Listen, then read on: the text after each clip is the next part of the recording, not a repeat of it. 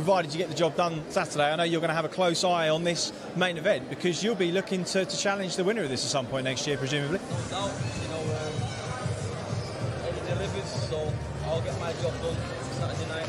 But, you know, maybe this man, maybe Joe, maybe here, maybe Manchester, we don't know. But Have you have you watched much of, of Ogawa? Saw you had some pleasantries with him just just now.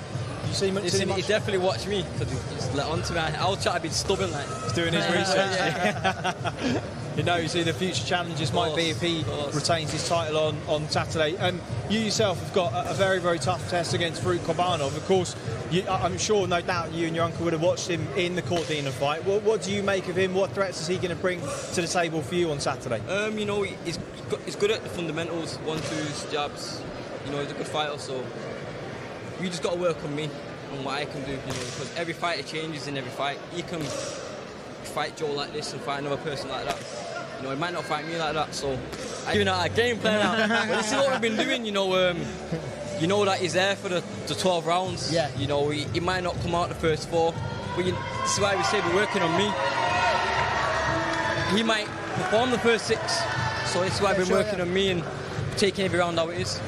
I like it. I like the sound of that. Well, I'll tell you what, while we've been talking, Ogawa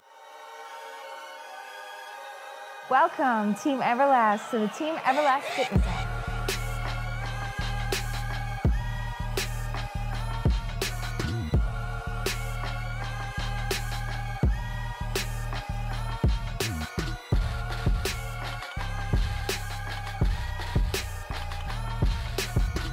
Download the Everlast Fitness app and find your greatness within.